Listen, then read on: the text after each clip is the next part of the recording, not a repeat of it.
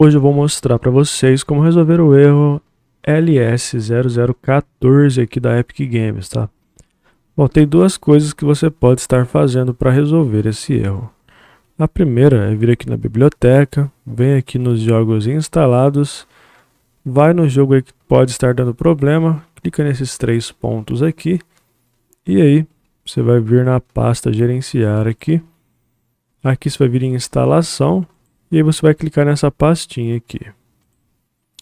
Nessa pastinha você vai achar o launcher do game, tá? Não importa qual jogo seja, você vai vir aqui no launcher dele, vai clicar aqui com o botão direito do mouse, vai vir em propriedades, aqui você vai vir em compatibilidade, e aqui você desmarca essa opção, executar este programa como administrador, caso esteja marcado, tá?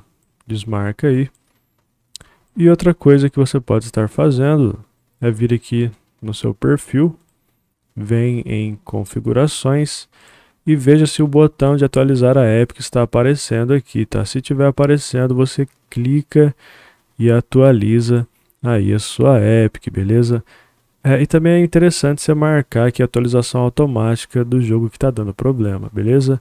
Então é isso. Se eu tirei sua dúvida, deixa o like, se inscreve aí e até mais.